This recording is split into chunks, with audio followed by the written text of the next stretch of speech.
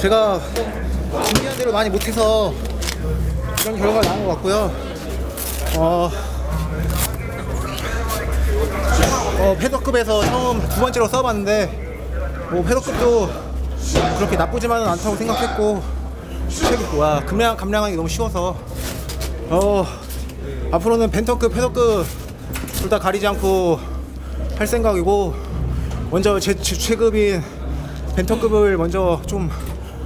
어, 비어 있, 왕자가 비어 있으니까 어, 거기에 더 근접한 선수가 되도록 노력할 거고 어, 김영수 선수와의 2차전은 이제 대회사에서 만들어 주신 대로 할 예정입니다. 오늘 아- 가장 아쉬웠던 점이 뭐였어요? 어 레슬링을 사실 많이 준비했는데 레슬링을 많이 못 쓴 게 좀 안타까웠고 그리고 어 상대가 상대가 좀 어느 정도 맷집이 있고 터프하다는 거 알고 있어서 스텝을 많이 쓰려고 노력했는데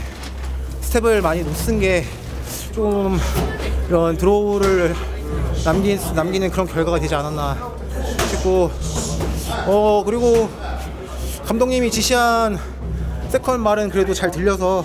아 그래도 좀 경기 감각, 감각이 너무 떨어지진 않았구나라는 생각을 하게 됐습니다. 그 개체량 때 그 모습과 달리 오늘 경기 끝나고 서로 안아주고 좀 훈훈한 모습을 보였는데 앙금은 풀리셨나요? 어 앙금은 사실은 풀렸기보다는 뭐 김영수 선수랑 따로 얘기할 때 될 부분인 거고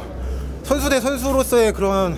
악감정은 없습니다. 인간 대 인간으로서의 그런 감정은 아직 얘기를 안 해봐서 모르겠지만 선수로서의 그런 그래도 리스펙은 한번 싸워봐서 이 선수가 어떤 선수고